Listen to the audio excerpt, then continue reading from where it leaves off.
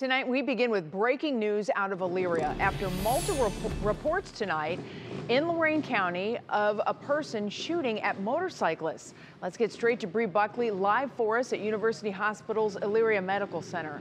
Bri? Yeah, Betsy. So we're still trying to learn more details. What we do know, like you mentioned, is that there was somebody that was shooting at motorcycles, driving around doing so. Multiple police departments have been able to confirm that for us. What we also know is that here at University Hospital's Elyria Medical Center, there was a brief lockdown that lifted just before 8 p.m. after a large group of motorcycles showed up. I was able to talk with a group of bikers here outside the hospital who tell me that one of their brothers did die. Of course, we're still waiting for more details from police. Where this happened, when this happened, who's involved involved, who was suspect or suspects could possibly be, and we'll keep you posted as soon as we get some of that information. Hey, Bri, one quick question. Can you tell us what the scene is like right now?